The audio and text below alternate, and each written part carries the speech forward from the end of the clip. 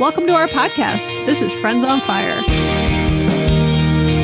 I'm Mike. I'm a lifelong devotee of financial independence. I even wrote a book about it.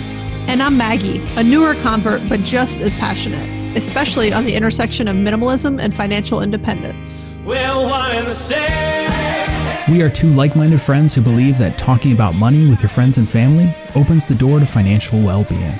The Friends on Fire podcast is about dispelling myths, building financial acumen, and sharing your financial independence journey with the people you care about. This is Friends on Fire. Well, hi. Welcome to Kiersten and Julien from Rich and Regular. We are so happy to have you, and we really appreciate your time tonight. Hello, it's so good to see you, Maggie and Mike. what was that? Hello. I like that, that was, was, a nice hello. That was my that was true excitement. That's yeah. That's what happens when you're in quarantine for a year. You start singing is. your it's hellos like, in a Bridgerton accent. People. Hello. Wait, I, I don't want to get too off topic right off the bat, but are you guys obsessed with Bridgerton as well? Oh, because I am. I love that I, show. I've not started this yet. I feel left out. What? It's so good. The Queen is like one of my favorite TV characters of all time. She's a boss. Yeah, oh she definitely God. is. She's it's just I, I laugh out loud at her facial expressions every time she's on screen. She is magnificent, um, but she's she's definitely not a, a role model. Um, Based on the fact you said she's just she's a cokehead, I'm assuming that. I mean, when have you ever seen it was that? normal back then. I mean, it was like maybe regular. Yeah. Was, anyway.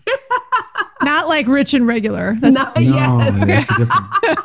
Um, but no, okay. I'm not. I'm not crazy about the show, but I did watch it. I thought it was. I thought I love a good story. I am obsessed with good stories these yeah. days, and so that is one that sucked me in, and I was very excited about it.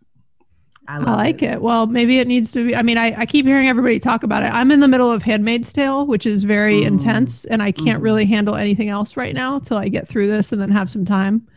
You need process. a palate cleanser of Bridgerton need, when you're done. I need. I don't yeah. think Bridgerton. Well, maybe it's a palate cleanser. We'll see. It it could be. Yeah. Okay.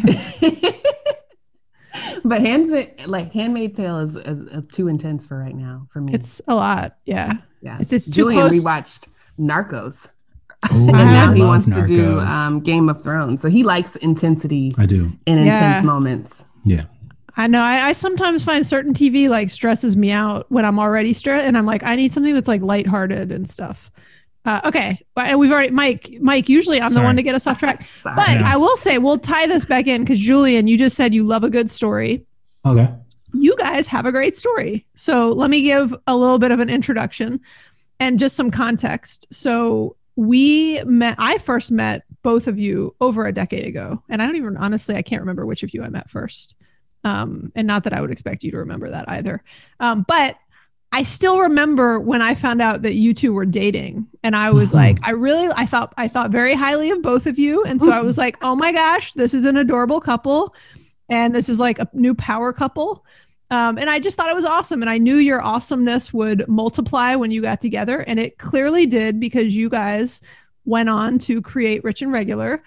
And I know, so you created Rich and Regular in 2017, I believe. It has grown into an award winning blog, a very successful social platform, a media brand. You guys are now in the process of writing a book with the world's largest publisher, Penguin Random House. Super impressive. And your mission is to inspire better conversations about money. So, on that note, we want to just welcome you and then have some conversations about money. Thank you. I'm, I'm, I'm, I'm blushing uh, but I was also pausing since when I said hello it was apparently a bit too much. hello. Scared you from talking. Um, right. So I was left some dead air there. Hopefully your editor like can clean that up. But, uh, but no, thank you so much. We're happy to be here. Yeah, you're welcome. We uh, we're excited to have you here, and you can say hello however you'd like. So, thank you.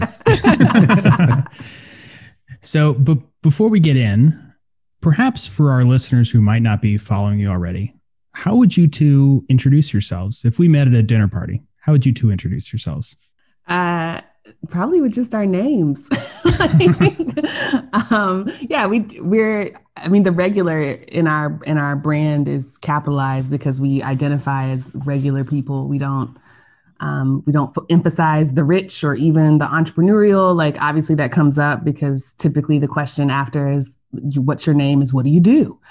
and that's when we start the conversation of, you know, we're self-employed and um, sometimes we'll say we're entrepreneurs, but people have like, it's such a weighted word. So when we say self employed, people are more curious about the kind of work that we do, which then leads into a conversation about money and personal finance and media. And we're just, a, we're a lot of fun at cocktail parties. I was gonna joke you're you're probably not sure how to answer that dinner party reference because like none of us have been to a dinner party or socialized in person with that many people lately. So yeah, I'm definitely rusty. It's yeah, like, that's, that's, why we got like that. Sing my hellos, Rusty. I was gonna say that's why we got the Rusty hello. You know, poor guy like hasn't been able to say hello to anyone. I know. While, you know? I know it's pretty bad. I, I normally just say uh, I'm a blogger. Oh, um, oh, that's another. I really way. do. I I love that title. Um, it's the one that that fits the best or the most comfortably to me, but it, it is it is limiting in some ways. So, um, but yeah, I just say I'm a blogger because it also just means that people won't dig that much deeper. I like it. Okay, I have recently heard both of you, and I can't remember where I heard this honestly, but I've heard you both say, or one of you say that you were tired of talking about how you got here and that you want to talk about where you're going. So we re- was that right? Did I make that up? That sounds like Sound me. familiar? Okay. Hello. Hello. yes. So we want to spend a little bit of time focusing on on that. So we're, we're not going to dig into too much of like how you started the blog. I know you guys talk about that all the time. Um, but one of the topics that we do want to talk about before we get into some more kind of general money topics is a little bit to dig into kind of your experience in corporate America. And because that is something that we've not all just shared in common in terms of corporate America, but literally, if I didn't say that at the beginning, all four of us have worked at the same company. Mike mm-hmm. and I still work there. You two used to work there. And I, I actually went to LinkedIn and did the math because I wasn't quite sure. Anyone have any guess on our uh, combined years of experience? At this company? 35 years. I was going to say 33. That's impressive. That's uh, pretty good. Kiersten, you win. It's about yes. 36. I, mean, I didn't get it down to the month, but it's about 36 years. I forgot how long, I knew how long I had been here. I forgot how long both of you had been there also. Um, so, I mean, you two have over a combined decade there. I'm sure you remember it uh, when you're like, yep, no, I remember every minute of it. Um, but and Mike, you're just a little baby there, right? So you you've got like two and a half years under your belt. Uh, but we've we've clocked a lot of time working at the same company, so we we've there's something in that kind of shared experience of. I think a lot of big corporate jobs are very similar in different ways, but every company has kind of you know its own culture and idiosyncrasies and all those things, and we've all had different experiences. So I've heard you guys say before, and I think I heard this in your YouTube series, Money on the Table, um, when you were talking about, I don't remember the title of it, but it was like episode three, Race in Corporate America, something like that. That you just that part of your experiences was around, you know, not wanting to bite the hand that feeds you. Mm. And and when you, you know, speak up and speak out about certain things that that weren't working for you or not just working for you, but that weren't right you were putting your livelihood at risk. And I love one of the things that you said was if you take a shot at the powerful, you better hit, you know, and that just, mm-hmm. it, that, mm-hmm. that is a very, uh, I don't know, quotable soundbite. Um, and so I think perhaps the point you were making is when you were working in corporate America, you didn't necessarily feel like you could speak your truth and that it wouldn't have some sort of adverse impact on you or right negative impact on you in some way.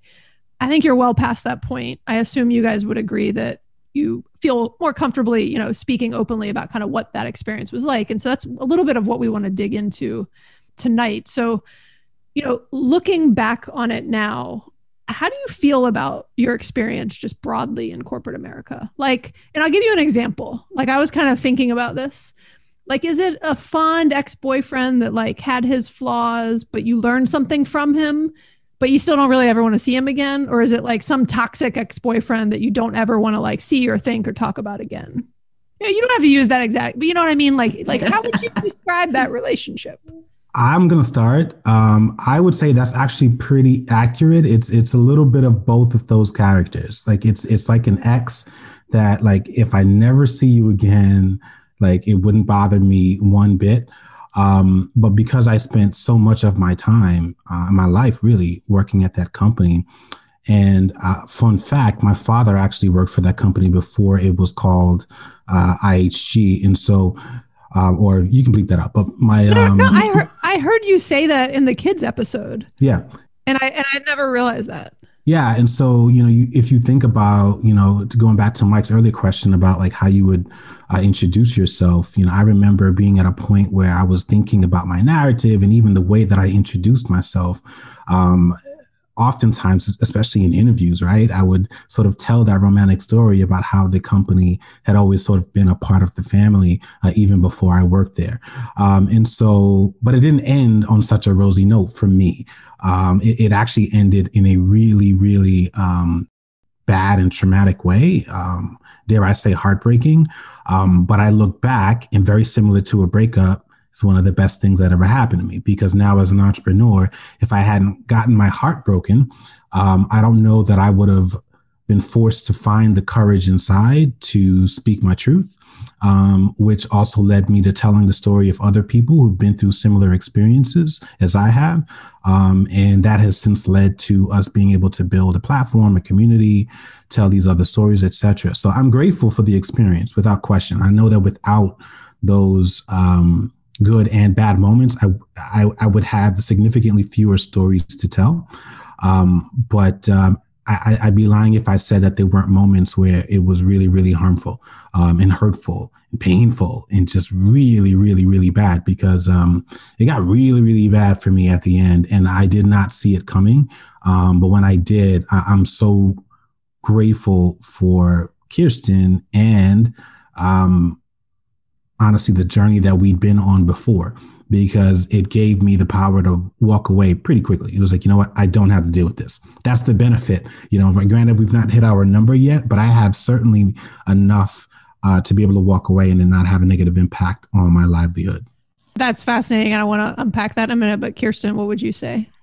Yeah, mine was um, far less toxic than Julien's situation. Um, I guess it would be like the the ex-boyfriend that you remember fondly, but it's like the one who never proposed. Like mm. you were hmm. dating for like 9, 10, 15 years. You got all this history, but when you ask like, what are we doing? It's kind of like, I don't know, we're just figuring things out. Um, so just, like you we're have, just, uh, we're keeping it casual. We're keeping it cash. Like, what's the rush? Yeah. Um, and so for me, it was just more of a, a thing where the pace of my personal growth was faster than any sort of career growth. And it just was a it was a mismatch at the end of the day. Like i just didn't see the relationship continuing and us both benefiting in the same way. So one of the things that we're you know we definitely want to dig into are some of the challenges you faced and the learnings that you had from those challenges. But before we do you know going back to the ex-boyfriend uh, metaphor. You know, I think, you know, in relationships, people learn things about themselves and they develop personally from those relationships. And so when you look back on your time in corporate America, how do you think you you grew from those experiences? How are you a different person because you had that time there? Uh, there's a lot uh, for me. Um, I'm trying to think of what, what, what's the best sort of example that I can that I can give. Um, as an entrepreneur, I learned uh, what it takes to be considered world class.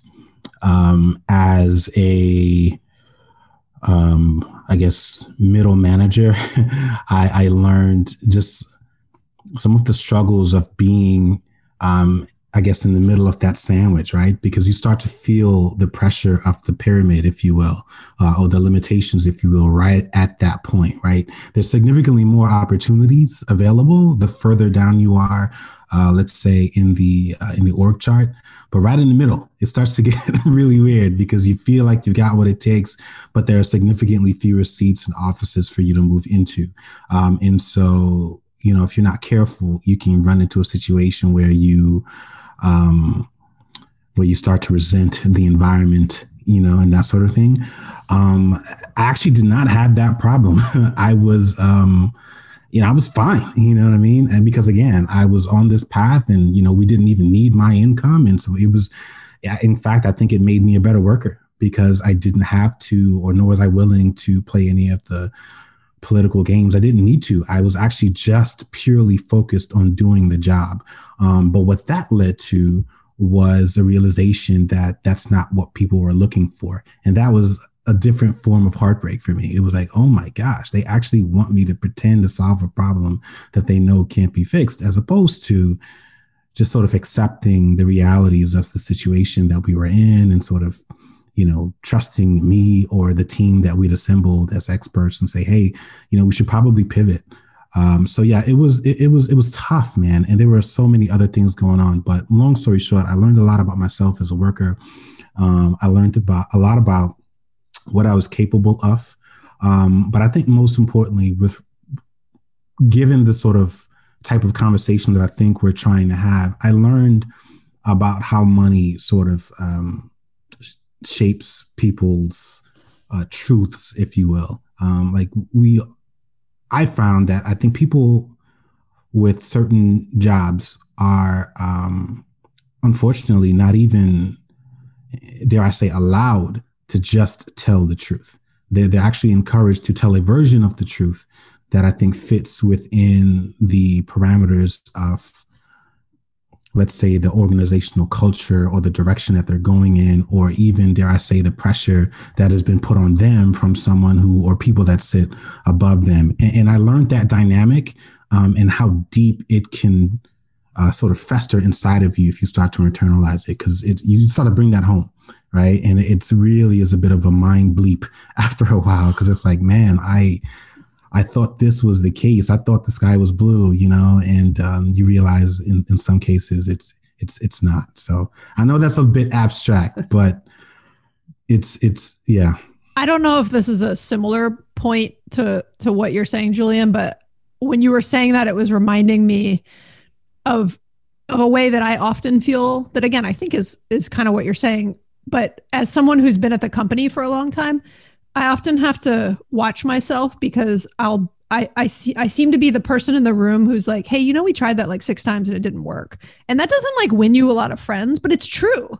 Like there is truth in learning from history. So I'm not saying we shouldn't push the limits and be innovative and everything else, but there are many times where I hear, hear people going down a path and I'm like, hey, if you just, I'm not saying you shouldn't go down that path, but might you want to hear what happened the last three times we sent someone down that path? Because the same thing happened every time. And I, I often have to catch myself because it's like a lot of people don't want to hear that. Um, and it just, what you were saying kind of, I don't know, r- reminded me of, of that experience that I've also myself had. Yeah, it, it, it, it, reminds me very much of, I want to say it was Steve Jobs that had something to say with respect to like if hire smart people and let them do their jobs. You know what I mean? Like don't get in the way and insert, you know, opinions that you aren't even qualified to to offer. And again, I say that at the risk of sounding arrogant, but I've had my, my own experience with that. I've seen other people have experience with that. And for me, as someone who really, really enjoys getting things done, that was really, really frustrating because it was like, man, it, it was almost as if we would rather, you know, craft the perfect story about what could be done or what's possible or the direction that we're going in over and over again, as opposed to sort of accepting certain truths and moving forward that way. And so it, we just, there was this a, a, growing misalignment in terms of how we viewed the world and how we viewed the, yeah. the tasks at hand. You also said you were a better worker because you didn't need the income.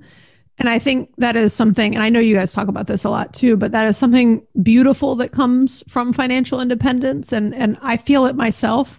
There's a lot of things where I was once, you know, cautious to say certain things or to be a certain way. And I have no fear now. Like I don't like, what are you gonna do to me? Okay, cool like please do actually. Yeah, yeah, go for it. Let's see what happens you know? Um, and it, and it and, and, i mean mike i know i know you uh, feel a similar way and we talk about that but it doesn't mean i don't have pride in my job. Right. and it doesn't mean i don't care about doing things a certain way but i don't get caught up in like playing the game and you know doing things a certain you know it, i just I, I am much more true to what i care about and what i think is right. And how I want to be as a person and and as a leader and as you know a lot of the words that you used Julien and Kiersten used some similar ones um, when you were describing it you know as an ex-boyfriend um, but we, we can say, girlfriends can was, suck too. I was just gonna, yeah. no, it's just boys. I was just gonna say, yeah, this is not a. It could be an ex girlfriend also. Yeah, just um, equal opportunity. yes, uh, it's probably it's more likely an ex boyfriend to be clear, but it could also be an ex girlfriend. Uh, just, I'm just saying based on the odds of it. So. It, it, it, that's fair. um, someone's gonna like give us a, a hard time about that. I'm just yeah. joking, just to be clear. um, so, well, I was gonna jump into something else, but Kiersten, if you wanted to add, yeah, um, I I think we were in totally different parts of the business for a large part of our time there, and the part of the business that I was in was really close to the customer. Like we were in the heartbeat of revenue making. And so, what it taught me was how to interact in real time environments, how value is added and exchanged very quickly, and how money can flow very quickly if you're if the motivation and the incentives are right. So, I learned a ton uh, in my time there about incentives and how those drive behaviors way more than education or strategy or um, you know, PowerPoint decks, like incentives make the world go round. And that has been true both in entrepreneurship and in my tenure in corporate America. And so a lot of what Julien is talking about in terms of when people bend the truth or create certain frames around the story or certain narratives, it comes from how they're incentivized.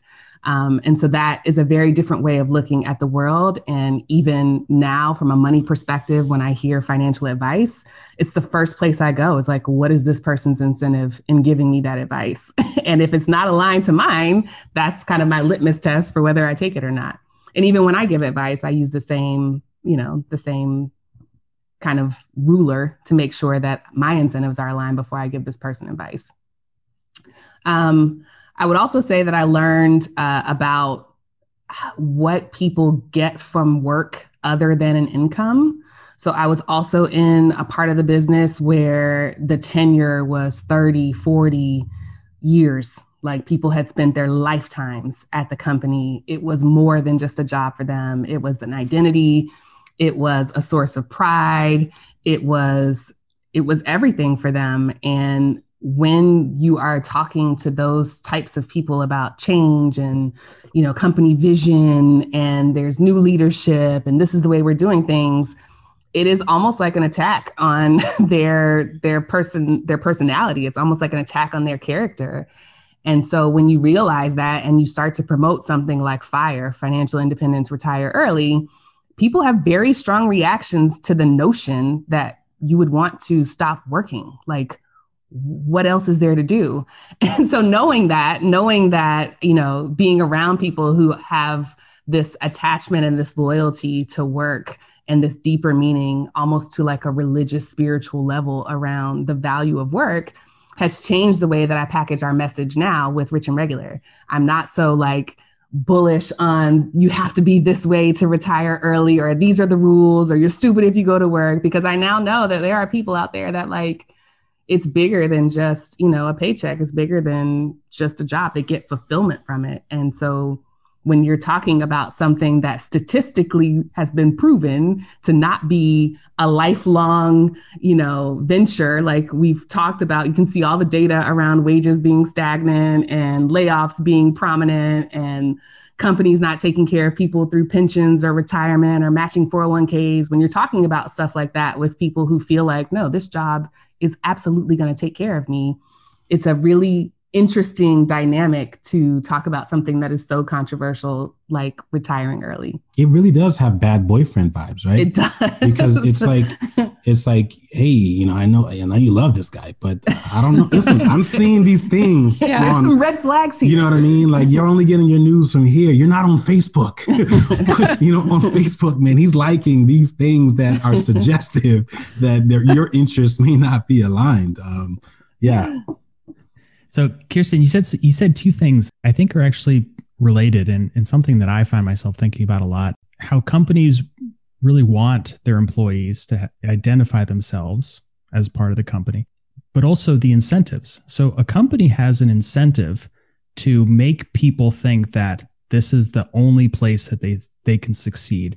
This is the only place that you can find value and identity and meaning in your life. And and in some ways, they kind of like trick people into trapping them in a 30 year commitment to the company when they could be doing something else that's really fulfilling. And so one of the things that I, I think about a lot and, and, I, and I talk with people about is, you know, like you, I, I've had a lot of great learnings from corporate America. I think you build a lot of fantastic skills, but I don't think anybody should do it for a lifetime. You know, like do it mm-hmm. for 10 years, have a great experience, then go do something else. For those who can't see, Julien's doing like a silent clap as you said that, Mike. he didn't want to say hello. So he just did the yeah no it's true it's we we constrain everything else like we can wrap our heads around 12 years of education four years of college eight years of medical school or whatever it is i think it's four plus residency point is like there are all these other time bound um, institutions in our society but when it comes to work like there's a theory that you know you work for 50 years and then you retire but the retirement crisis is very real and we are seeing right now that that logic just doesn't exist. Most people can't retire. Even at 70, 75, they're still working. They still have to generate some sort of income in order to survive. And at some point we need to wrap our heads around like what is an acceptable length of a career yeah. 20 years 30 years feels fair i've been working since i was 15 so like even if i worked 30 years and retired at 45 i feel like i've paid my dues i've done my duty i've learned everything i need to learn out of working for somebody else and the reality is like when you say i plan to retire by 45 people look at you like you're crazy and it's mm-hmm. like how is that how is that crazy yeah like no, I feel you. It is. Uh, I, I look at them like they're crazy. Um, I'm like, why are you wasting all your money so you have to work until you're, you know? I want to dig into something a little bit. So first off, uh, people are listening to us. They cannot see us. For those who are not familiar, Mike and I are white, pretty pretty white looking. I think that's obvious. Uh, Kiersten and very and, white acting too. Also, yeah, that wasn't clear. We're, we're, and yeah, in case you couldn't tell, we're white. Um, Kiersten and Julien are black. And so I want to talk a little bit about just the differences in the experiences we had in corporate America and what was and wasn't maybe tied to race. And so just and just to kind of repeat some of the words you used, like uh, Julien, you in particular, you know, use some words like, you know, harmful, hurtful, painful, toxic. Um, like it, it's heartbreaking for me to even hear those words as a leader of people that anyone made you feel like that. Whole separate topic we could get into. But I'm curious how much you felt like your experience was, I don't even know if, what the right word is, impacted, tarnished, whatever the right word is by race and your your race and the color of your skin. Yeah. So uh, obviously, um, you know, I've known you for years, and so I wasn't really sure where or when we would get to that conversation. And I was thinking, all right, you know, which story do I tell? um, right? Depends like, how much time you're willing to spend on with us. Tonight. Yeah, I mean, and I, I even started breaking it down. I was like, all right, there are softball versions, there are absolutely horrific versions, um, and then there's a bunch in between. Um, but I think the one that I keep going back to because I think it is uh, reflective of how deep this this problem is, and by this problem I mean um, bias within the workplace is I, I, know for sure too, but I want to say it, it might have been at least three different times throughout my 10 year um, experience working for that company that I was just flat out told that I wasn't hired for a role because I was black.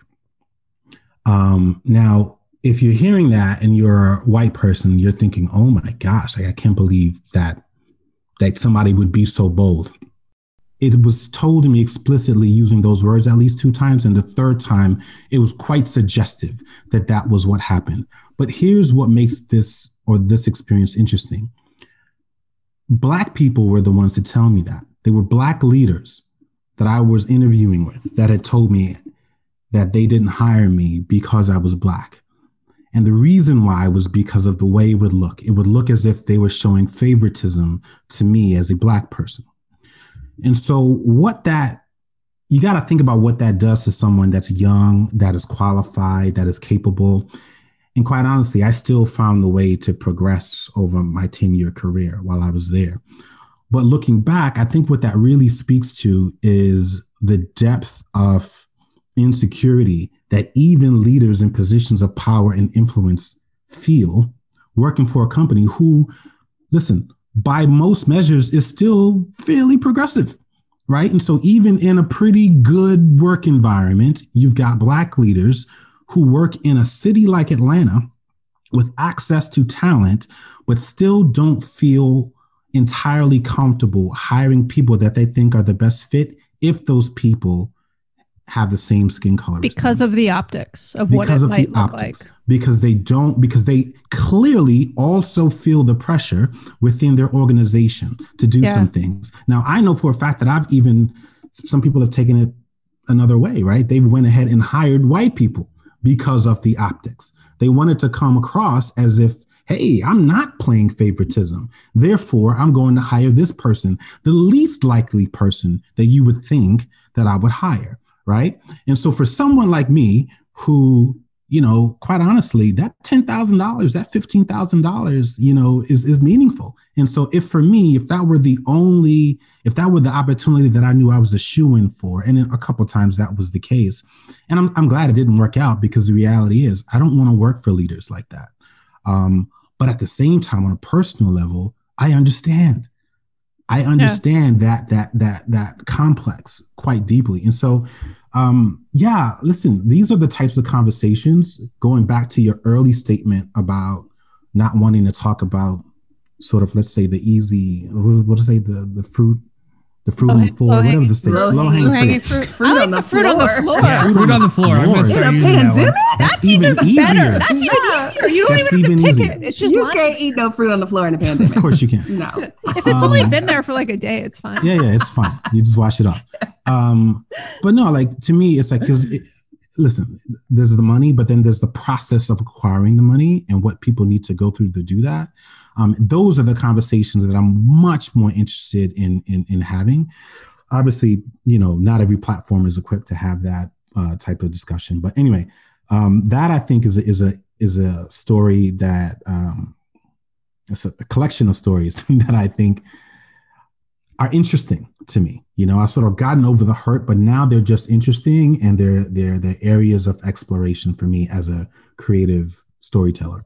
Yeah, and I think for me, it was more around, um, especially with women you know, we have all these like little professional development circles and mentorship programs and every, you know, every meeting there is an executive in our case, usually white, telling you about their origin story. And it's like, you know, this person took a chance on me, or I met with such and such, and they said that they saw a lot of themselves in me. And like, those are experiences that I've never had. As a Black girl, there's never been a white woman who says, you know what, I see a lot of myself in you because it's hard. It's hard to look at a black girl and be like, yes, we obviously have a lot in common, even though I knew we did. And I would have to work extra hard to like prove that, like, oh no, we have a lot in common. I like that too. I felt the same way in the meeting. Like, I would have to kind of extend myself. Like, it's almost like you're not allowed to be introverted as a black girl or awkward because you have to constantly show that we have things in common.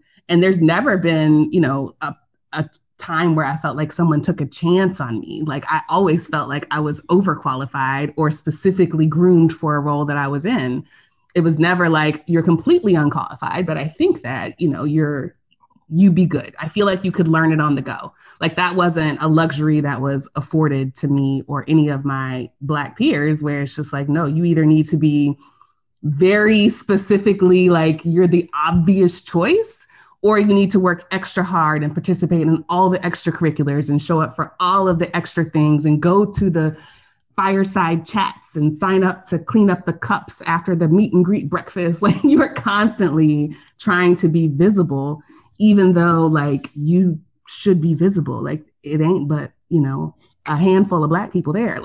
Like you should be visible. So um, it was just, I just felt like I was always performing and when I left, like that was the biggest part that I had to like unlearn was that I could build a business and make a lot of money without performing. I could build a business being myself and it wouldn't feel like work because the work itself was never the hard part for me. Again, I was prepared and well read and I had degrees and experience. Like the work itself of the building of the decks and the making of the revenue, like that was never the hard part. It was all the other performing that I had to do to be considered qualified to build the decks and do the revenue and all that. like it was, it was that part that was the exhausting part. And so shedding that after I left was about a year long process. It took a while to like sift through all the noise and like find my actual voice again.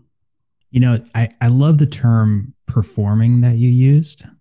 And, and obviously our our experiences and the level of performing that you and I have had to do is going to be vastly different. But I think one of the things that really kind of sucks about corporate America is that everybody has to perform.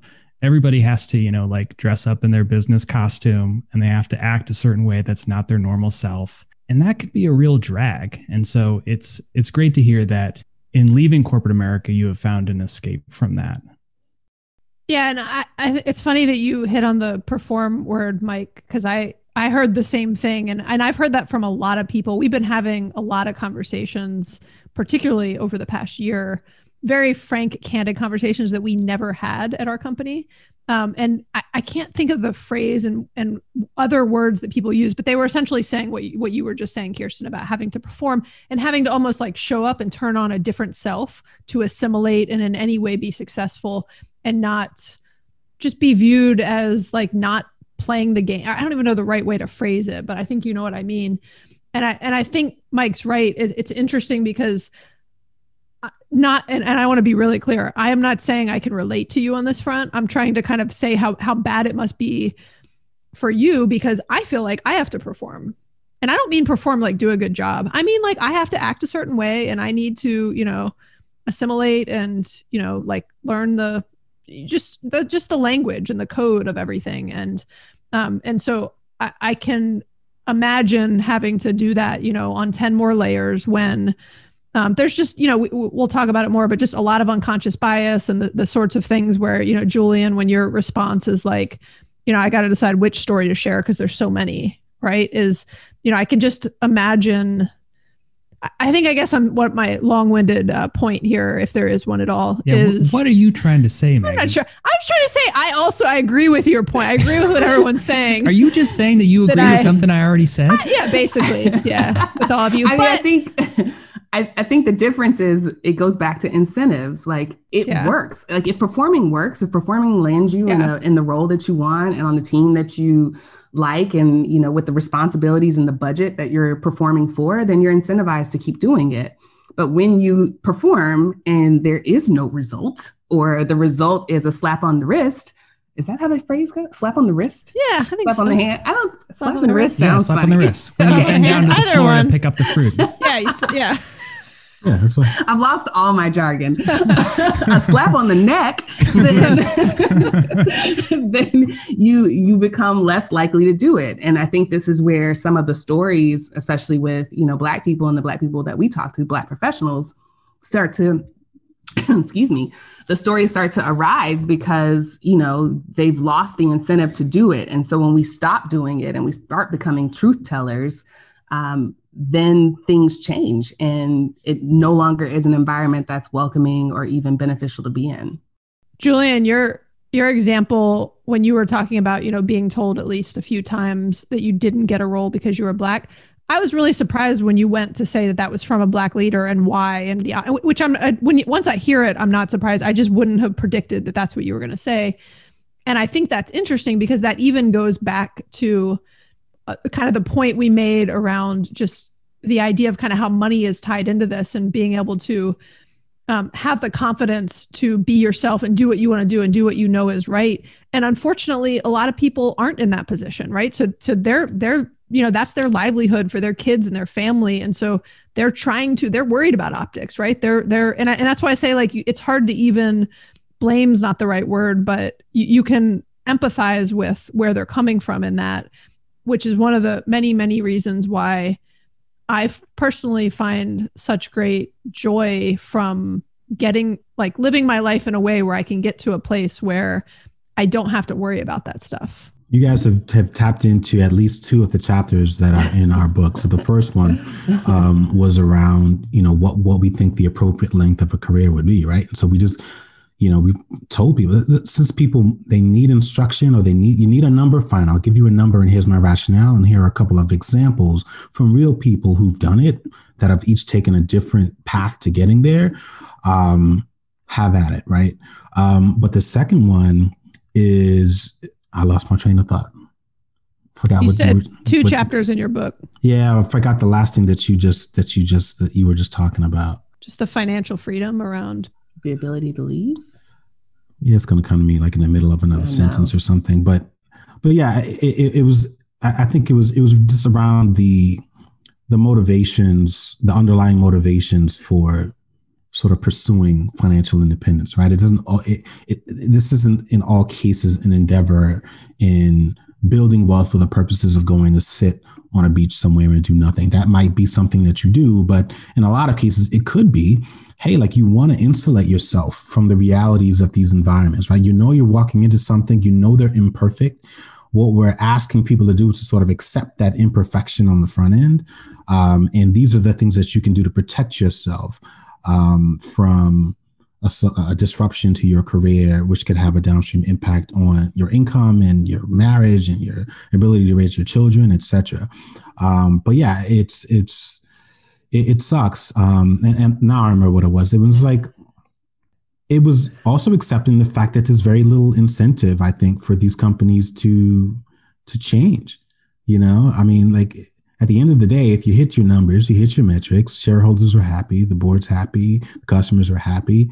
If someone comes and says, hey, we need to sort of tweak the operational and organizational charts a little bit in order to make these people happy or to sort of check these boxes, there's just very little, um, I believe, uh, incentive to Kiersten's point for them to do that. And so, you know, if what they're doing is working, if anything, let's keep doing more of that and so I think what we're, we're really trying to challenge people to do is just sort of accept that.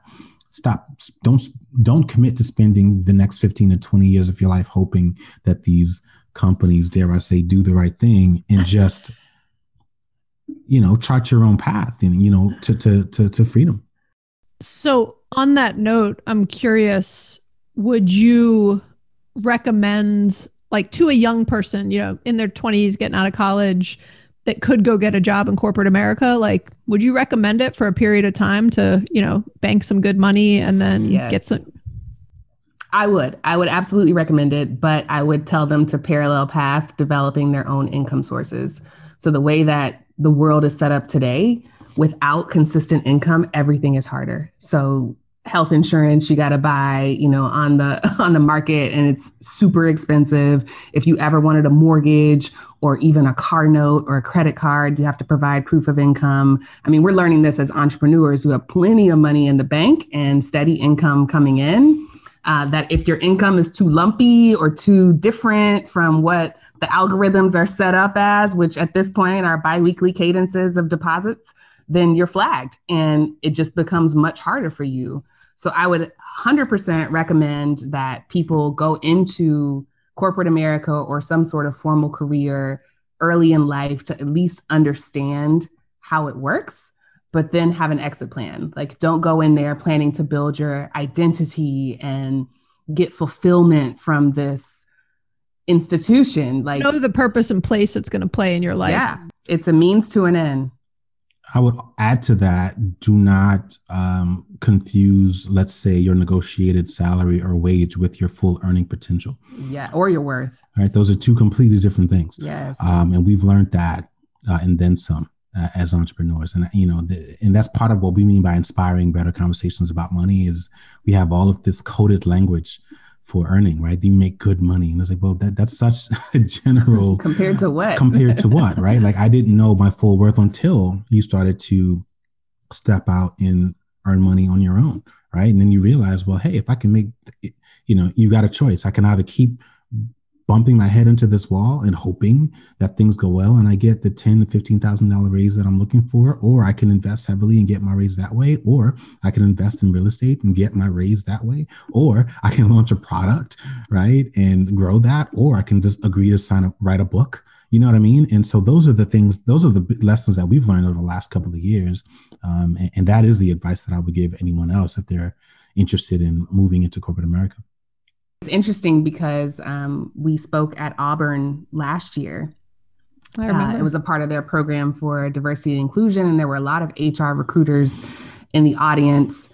And they basically came in questioning us like, listen, we, like a lot of our candidates know about fire, they know about you know, digital nomad and lap, life, laptop lifestyle. Mm-hmm. And so they go into these interviews and they're unprepared with the hiring manager, and the hiring manager doesn't end up hiring them because they're so clear and vocal about the life that they want. Like they want to be remote workers. And obviously, this was pre pandemic, but like these people have the audacity to say, yeah. I don't want to come into an office every day what is your advice for young people and it's like i mean we don't we don't give advice on how to be better interviewers for a system that has proven to not work like it's it's interesting um, how we, we, another thing we talk about in the book is the pace of change and how quickly like younger generations can really create a movement and change the way that things work. And when we talk about work not being this lifetime endeavor,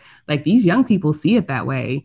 When you couple that with like AI and like robots, and not to get all futuristic, but like I'm pretty sure companies will start to see that employees there's a lifetime value of an employee just like there's a lifetime value of a customer and they will no longer be incentivized to keep you on as long as possible. It's really just to kind of milk you for what they need at the moment and then milk you sounds so violent but milk you for what you need in the moment and then the visual. replace you with you know the newer version. Like that's the way our cell phones work. Why wouldn't employees work the same way? So yeah. matrix uh, that was very matrix we've got so many good uh, phrases from tonight of uh, the fruit on the floor milking you okay on the on the same topic, but I want to uh, kind of take us in a different direction for a minute. And this is eventually going to turn into a question. If you haven't, uh, if you can't tell yet, sometimes my questions take a minute to get to. And one of our uh, interviewees, actually, um, it was uh, Kate Flanders, actually, who she said, "Oh, you're just sharing context, Maggie. You're not long-winded." And I was like, "Oh, thanks. That's very kind of you." Um, Mike critiques me for it, but you just made it sound like a uh, nice quality of mine. Anyways, I got a lot of context to build up to this, which I think is is helpful and you might find interesting. So, we interviewed John Onwuchekwa back in December, and do you do you know who he is? No. Oh, we love him. You should follow him on Instagram. He is the pa- he's he's fr- uh, not from Atlanta. He lives in Atlanta, but he is the pastor of Cornerstone Church in Atlanta. And oh yes, he, he founded plywood um not sorry not plywood he spoke at plywood people yes, but he founded portrait coffee which is a black owned uh, local atlanta uh, coffee roaster they've been doing crazy in the past year since they launched too um, anyways he we interviewed him and he shared one of the most insightful comments that i've heard in a long time and i was asking what are some of the things that we can do like people like me can do to help and start solving for systemic racism and all of the problems in the world that we've been talking about. And he basically was saying like I can't tell you things. He said you need to you need to understand the problems and and and to quote him he said you know the people who have done the most significant work are the people who have spent the most time understanding the nature of the problem. He said by the time you truly dive deep and see how far things really go, they then have, or by the time people dig that deep, they then have a million action items they can take, right? They're not spending time saying, what can I do? Because they've spent the time to invest and learn. And I'm, I'm off quoting him at this point, but they've spent the time to uh, learn and invest and really understand. And he talked about basically the idea of like a willingness to help needs to be met with wisdom. And I, I really liked his point there and his kind of broader point. So I want to kind of build off that insight and ask you a question um, building off of your wisdom. You also said something in your Money on the Table series where you said, What we do in this moment is critical. Given that you have been inside corporate America for a combined two decades across both of you, and you have the wisdom of understanding the problem, what do you think needs to change? Because you just, and I'm gonna, I'm gonna give you a, this, but I just want to add one thing we just talked a lot about sort of just being like, look, suck it up and go do it for 10 years and kind of compartmentalize and understand the place it plays in your life and the place it doesn't play and use it for what it's good for. But what could change? What could make it better? I have not thought this through in detail, um, but I have given it a good bit of thought. And it's a daring sort of proposal. But I think um, it's time to reevaluate um, the value of employee retention programs as a whole. I think companies as a whole, you know, might be significantly more. Well, one, they would be leaner if they just stopped trying to pretend to be our friends and our family, um, and trying to sort of encourage us to, you know, create all these programs and uh, forced fun and all of that stuff. I- imagine a world where we really just started to embrace embrace the true nature of this relationship, which is a transaction, right? Um, which requires both parties, all parties, to sort of own up to that um, and say, hey, it is what it is. Um, I'm going to come, I'm going to do. Uh, this is the price in exchange for my labor. This is going to be my contribution. This is where it starts and this is where it ends. Um, I feel like just given the number of people that I know that really hate the fluff, I feel like that could actually be pretty helpful if we just decided to be honest about it and said, hey, let's just do that and sort of reappropriate the funding in other places. It could be in wages, it could be in, um, I, I don't know, right? But just like well, it works like that in other countries. Like if you go to Europe, you sign an employee employment contract, yeah. and again, you're both incentivized. You're incentivized to stay, and they're incentivized not to let you go because of the nature of that contract. Yeah. If we could move to a model that other developed countries are using, from maternity leave to in healthcare, and not to get political, but like there there are examples, and so when people are like confused to to John's point, when people are confused about where to start, it's like, well, I can tell you haven't done your research yet because there there are examples of com- of countries of of places in the world where this isn't as much of an issue. It is a specific to the U.S. Mm-hmm. Thing. Yeah, specific to the U.S. Well, no, and it's it's, it's also this obsession with with optimization too, right? So I think there's, you know, there's just a lot of work to be done there. It's like we companies as a whole, like this, like this is the stuff that I'm actually really, really interested about. It's it's it's part how do companies um, motivate a financially independent workforce, right? Which is a big question to me. Um, but I think in terms of just optimization, if we want to optimize things, well, you know, op- optimize time, right? Like stop stop with the BS, stop wasting time with all these things that most people don't really enjoy anyway, right? And then with that flexibility, I think you can give other people that extra day. Imagine if you had oh the, imagine if you had a, a four, day, day work week. week. You guys right? know I just moved to a four day work week. I saw that. Congrats. And I was just talking to somebody and they were asking me about it. And I was like, you know what's cut out? All the fluff. All the I'm fluff. just like, I'm doing as much work in a short, right. I, am now just much more focused and motivated to like get my Correct. shit done in a shorter amount of time. But I think what employees would then do, or is is to now you can sort of give people the capacity to actually create change right and so in however they want to do right that long list of problems that you've identified after digging deep and exploring the world for all of the social ills now you've got a full day right that you can use going forward. It's, it doesn't have to be a seasonal thing. You can do it whenever you want. You can give back more to the community. You can you know do whatever you want. I just think that, that like sort of loosening the the the sort of chains of of the standard work week could just help create the capacity that all of these different families and individuals and communities could then use to help solve some of the problems that are just persistent. We don't have the time to fix any of this shit. You know what I mean? and so, like, you know, let's figure out how to sort of break work down a little bit to the bare essentials to create the capacity and the funding for people to do the things that they actually want to do.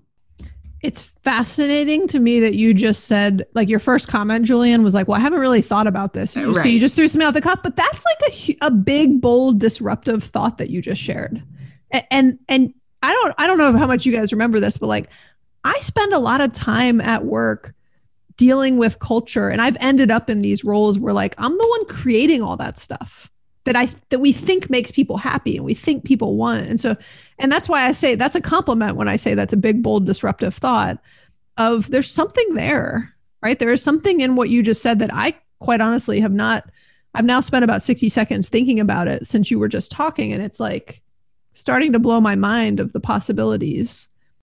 Yeah, I mean when you think about the work schedule that we're on, it's from the industrial revolution. Like it is old. It is a it is a schedule that came to us when we were still like in factories and coal mines like all the time and when the world had just shifted from like being agricultural to now being industrial it's time to revisit it like and if any time is better than any like the pandemic has caused the ability to revisit it and just think about like what are the natural cycles of like a modern knowledge worker it's not 9 to 5 monday through friday like that doesn't make any sense anywhere and i think people are are saying that now where it's just like this literally does not make any sense. We're doing it's it would be like having a coal oven or something. Is, is that yeah. I had no faith in your ability to land that It would be like having fruit on the floor and then having to milk it. You know? I knew five seconds before that plane took off that it was doomed. I wish we were on video for this so people could see your faces as we're having this discussion. Ah, it'd be like milking an orange. Like it makes no sense. that actually worked out well, Kiersten. I, if you can milk an almond, you yeah. can definitely milk an orange. So Maggie, I think that. we need to make the the title of this episode something about our use of metaphors. Because I, I, we, we've collectively we must have dropped a hundred yeah, we're doing good. We're it's a, it's a solid this, solid this, taste. This is corporate, baby. yeah, yeah, yeah. We're gonna play corporate bingo after this. What's funny is Mike. I know you haven't like spoken up on particularly on th- this particular point, but I feel like you, Mike is in the target market of like he doesn't need all that fluff. He's like, what do you want me to do? I'm gonna do a good job. Um, and and there certainly are people who I think we think need it, but I yeah. I think it's worth revisiting. I mean, I think you're right and that's why I say like there there is something big in what you just said actually have thought about it more than I probably give myself credit for because I think I even went as far as saying giving people the option, right? So you you can choose either an extra day, let's say an extra amount of money, or you know additional money that you can use to help pay off debts or accelerate investments, or a contribution to a fund. Like I, I instead of the catalog where you can get like instead of an engraved watch and a vacuum watch. I have a hammock on my deck that I got. we got a shop vac. Shop vac. So let me let me ask you guys a question. Let's say, I I know you guys left corporate America because of a lot of the the things that we've talked is about. Is this about a shop vac? For you. No, this is not a shop okay, back. sorry. Just check. I'm so, just checking. I want to keep us in. Go, keep going. So you, you left because there were a lot of things that didn't agree with your lifestyle that you didn't like about corporate America. But what happened? What would happen hypothetically if the things that you're talking about right now you actually found in a company. So you've there was a company that approached you and they're like, "Listen, we don't have any fluff. We're really transactional. We want to make you happy, but you know, we're not going to f- feed you with a bunch of bullshit."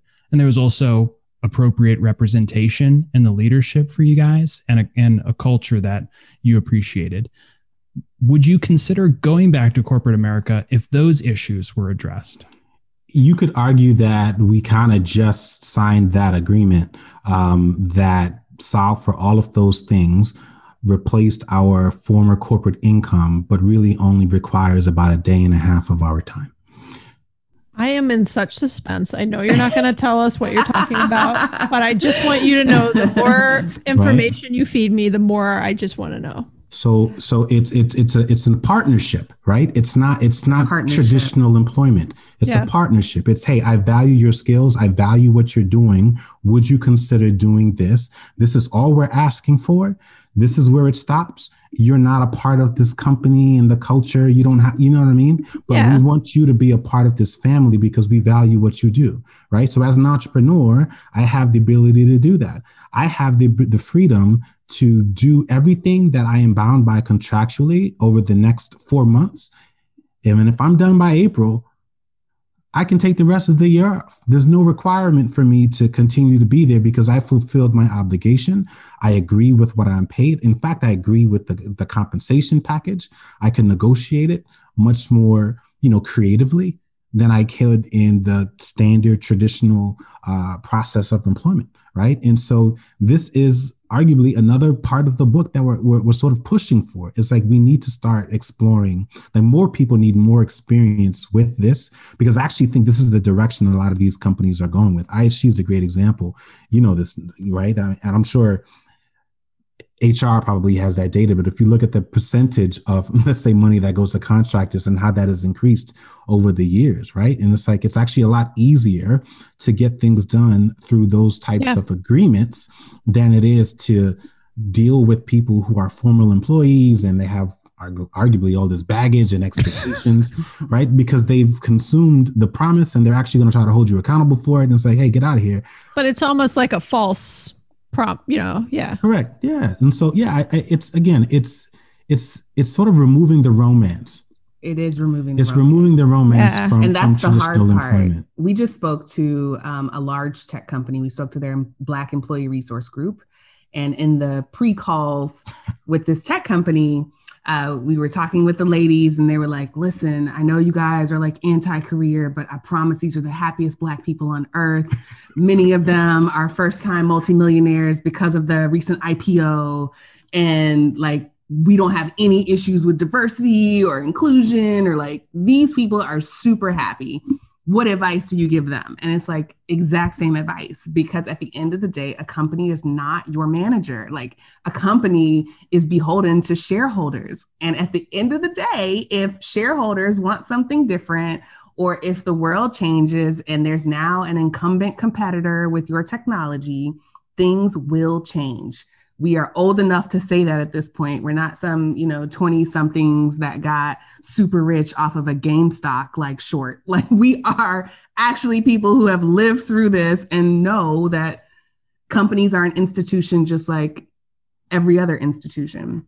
So I think to your point, Mike, like my advice would would be the same. And if I were to go back to corporate because they had all of these things and I could save $1,100 a month on healthcare and have a very flexible schedule, then yeah, I would, I might go back into it, but it would be with the same mindset that I'm using now, where it's like, this is really just to stack up, you know, $25,000 over two years that I'm currently spending on healthcare or $40,000 if they have a daycare benefit like there are some benefits in like you know going back to to a regular job but at the end of the day like i would still look at it as transactional and not some sort of lifetime commitment which is not romantic but listen hookup culture is real. Ah, the metaphors. Um, i know. Listen you know trying to milk an orange is a real problem people have if you can milk an almond, I stand by that. Like that's going to be on somebody's gonna, poster. It's going to be like orange milk advertising in the next Super Bowl. Somebody's going to be at their desk like, if I can milk an almond, I can milk an orange. when we quote you uh, on some social posts after this, we'll be like, yes. Kiersten said that was our best takeaway. okay, so I, I don't want to just awkwardly shift from what was I think a really fast, for me at least, a really fascinating discussion on corporate America and race. And and I say fascinating, but I know Julien, you just touched the surface in some of your examples, but it, that's not fascinating. That's really sad and heartbreaking to hear. And it's one of the many things I would like to see change, and I'm certainly doing uh, the best I can do at my part to change it um, from the type of role that I am in. But I, I want to shift to wrapping this up because we want to be respectful of your time um, and just get a little bit of a sense of kind of where you guys are at now, what projects you're focused on, and what you're most excited about. I know you've kind of mentioned a few throughout the discussion, but like, what are you guys most excited about right now? Where are you headed? Yeah, I feel bad for bringing up our book uh, because it's going to be a while before that thing is available. Um, we've learned, if there's one thing we've learned, um, the traditional publishing process is really, really slow. Um, but on top of that, we did just go through a year where everyone's sort of pivoting with the pandemic. And so uh, everything is pretty much delayed. So we're anticipating even further delays, but that's fine because it's given us the, um, the capacity to uh, and the freedom to kind of explore other things. I think uh, the next thing uh, that we're most excited about is Money on the Table season two. We're starting to have um, early discussions about that, and that's basically um, our series that we launched on YouTube. We originally intended on having very candid conversations like this with friends and people that we've met within the fire community um, because we've actually found that those are the real conversations like when i'm hanging out with all of these other personalities and there's flies on the wall and or and not there flies on the wall but i was like why are there flies on the wall because we're in this like this really dingy place yeah there's all fruit all over the floor fruit all over the floor. Flies i get it they're fruit flies okay. yeah they're fruit flies uh, at the bar um, which is a very real thing but um, no, it was when we realized that you know being a fly on the wall in in some of these conversations where was actually where the really juicy stuff was. It was like you know what, that's what I want to share with people. Um, and there's nothing better than being able to just you know cook for someone. And the, the idea literally so crazy, but we were in New York with Grant Sabatier and Vicki Robin. And I don't know why I just said I wanted to cook for you, Vicki. And um, I was like, if I cook for you, what would you want me to make? And she said she wanted whiskey and an English trifle. And I said, well, if you ever come to Atlanta, that's exactly what I'm going to make for you. And so that was like the beginning of the idea. And I was like, ah, I should record that conversation. I like it. Yeah. And, you know, because she's a fantastic woman, a brilliant woman. And who says English trifle when I know? like, I, I was confused when she said she wanted whiskey. I was like, is that a meal? You but, right. for her. but the, the, Epicurean in me was so like I was I was enamored with her in that moment, and so you know that was really the original idea. So now for season two, we really want to get out there. This is assuming we can get. Uh, you know, vaccinated and other people can do the same, and that we can take the necessary precautions. We really want to travel, get out there, have these conversations, document them, and share them with people around the world because we've learned through this process that conversations are such valuable platforms for learning. Obviously, as podcasters, you know that. But I think even on a more personal level, if you think about the way that we learn from our parents, is typically through conversation. Your parents don't write a book on how to be a boy or a girl or a nice person. They just talk Show to you. You, you know what I mean? Yeah. And so we realized that, wow, that's actually how most people learn about money. And so we wanted to sort of replicate that um, obviously in, in a different way and in a way that was more fun for a second insight, which is that I actually believe Americans value being entertained more so than they value being educated. Uh, and so why not try to entertain them and give them an opportunity to learn in the process? So we're really excited about season two. Uh, and then the other thing that we're excited about this year, we actually can't talk about. it's a new. God, there more. There is. It's a big year. There's a new. There are two things that we can't talk about, but one of them is a completely different website that we are in the very early stages of building.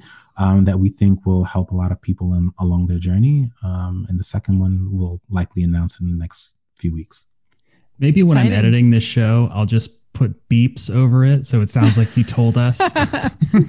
you were like, well, we'll tell you, but yeah. we can't talk. I'll tell you, but basically, we just beep, beep, beep. I, I want to just uh, throw out a, a compliment. Um, I love the show, and we will put a link in the show notes. Thank you. You know, oh, thank you. the I, I love food shows. I love talking about money, and so you know, just from like a, a production standpoint, the way you guys like intercut the like the cooking and the talking and the way the conversation flows and kind of jumps around, but is is cohesive. Uh, it's just fantastic. So you know, kudos. It's it's great, and I, I love the idea for for season two, and I'm I'm looking forward to that coming out at some point in the future. Yeah, it's like it's we stole a page from uh, Seinfeld, a comedian in a car getting coffee. Mm-hmm. That's sort of the vibe that we're that we're going for, um, and so hopefully, but instead of like me you know, buying or, you know, having a car that reminds me of Mike and Maggie. It's like, all right, I know Maggie is from wherever and I'm going to make something that reminds me of her. Atlanta. So I'm going to make a hot whatever dog. Atlanta's eat. Ew, not a hot dog. a You're such a good chef. Right, you're vegan. Oh my god. Oh, I, even even if I wasn't vegan, I don't Oh gosh, you're vegan. Then never mind. You can't be a guest. You're not even gonna cook for me. I know.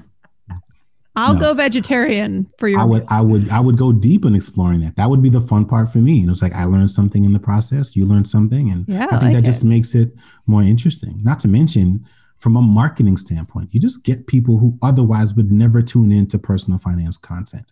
That was the underlying thing. It was like, well, don't make it look like personal finance content. They think they're getting recipes. The next thing you know, they're learning about index funds. And to change the game on like what we mean when we say money conversations. I think people have like a very like rigid image in their mind about yeah, like it's a spreadsheet. It's a spreadsheet. Yeah. Somebody's presenting. It's very serious. There's wine like, involved in your money conversation. yeah, casual. They're fr- they're funny. Yeah, which is how you know when when you're a couple, like every conversation about money isn't a serious one. Yeah. Like sometimes you're just ranting about towels, expensive, musty, musty towels, musty, musty, towels, yeah. or like we just talked about how expensive frozen fries have gotten. Like I also have bamboo towels, which I'm pretty sure is what you have because that's what makes them anti-musk, and it is very worth the investment. They're super soft. Thank you. I hope you're going to switch over soon, Julien.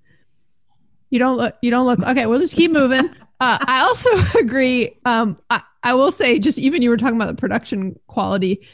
When I was telling my husband, I'm like, oh, I want to. They he knows who you guys are. You guys have met him a couple times, and mm-hmm. I was saying, I was like, oh, I want, we're gonna watch the you know Money on the Table series. I've been meaning to watch it forever, and we sat down last weekend and like watched them all. And he was like really impressed. He was like, oh, I thought this was gonna be like some homemade YouTube video. Um, he and he was like, this is like watching a TV show. This is great. This could be on Netflix the the thing I will say though that I ju- is just a random comment. Um, but when you first said fruit on the floor, it, it immediately made me think of one of I think my favorite scene from every uh, one of your first six episodes was your mom and the breadfruit when she's basically trying to tell you like it like you messed it up and I cannot deal with this. She, she was just like I can't do it. I'm not doing it. And it finally you agreed and she was like thank you. I don't remember her response, but it was hilarious how much she was giving, really giving you a hard oh, time about the bread. You have no idea. Everybody loves that episode. That's everybody's favorite episode. Yeah. She has to be, I guess, on episode one because it's like she's great. Yeah. she was great. She was, she was great. Mean. It was a good dynamic. It worked for you. I will never cook for her again. Uh, I want to be like, your son's like an amazing chef. He's like done this professionally. Like, nah. like, cut him some slack, you know? She's like, yeah, no, I know, I know more about breadfruit than you do. And like, yeah you have failed. There was no like uh so anyways, I thought you did a, a, solid job. I don't know what breadfruit's supposed to look like, but it seemed like you did a good job with it. It was, it was inedible. inedible. She did. Yeah. She wasn't even willing to work with it. You were like, well, still, we'll just, it won't be as good, but we'll just, and she was like, no. No. And then when you, when she, when you guys like gave, she was like, you know, like so excited, like, yes, I won. I won this competition. Okay. Yes. We're at time. Uh. it's 918 we're going to do a 60 second speed round. We like to sometimes do like a Mike's minute on the mic. We're going to do a Julien and Kiersten's minute on the mic. We're going to ask you two quick questions. Both of you get to answer just real okay. quick on the fly. Not, you don't need long answers. As a chef, Julien, former chef, and I still consider you a chef. Uh, you're doing it professionally on Money on the Table now. And Kiersten, as an eater of food, what is your favorite meal to cook for the other person? Steak. I don't really cook for Julien because he doesn't know how to accept accept my like meal mom, as he, it is. Yes, like he, he got it from his very mom. much like his mother. It's so I I make cocktails okay. and I make a great Manhattan. That's great. Okay, drinks count. All right, second speed round question. What is your favorite money or lifestyle related topic to talk about with each other? Hmm. I love to talk about income, like making money. I think people have such hangups around making money and they place these limits on themselves and every financial problem they have is framed around the amount of money that they make. And so when you say what if you just found $5000 more every year? Would that solve it? And it's like their mind like explodes. That was a bomb sound. It might have sounded like me spitting in the microphone but it was actually like a exploding head I'll add a sound effect in post. I would say index funds because as someone that has um, obviously, you know, is quite familiar with them, we invest in them um, primarily. Um, but it's always interesting when you witness someone else having that aha moment.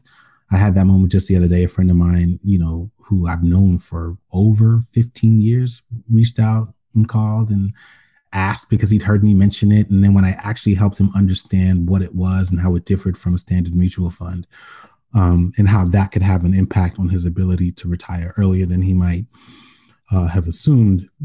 It, it, it, just felt really good to, to, to, to help just him understand it. Yeah. Um, and, and also, I think just from a brand perspective, it it proves our point around some people just needing things to be framed in a way that they are already familiar with.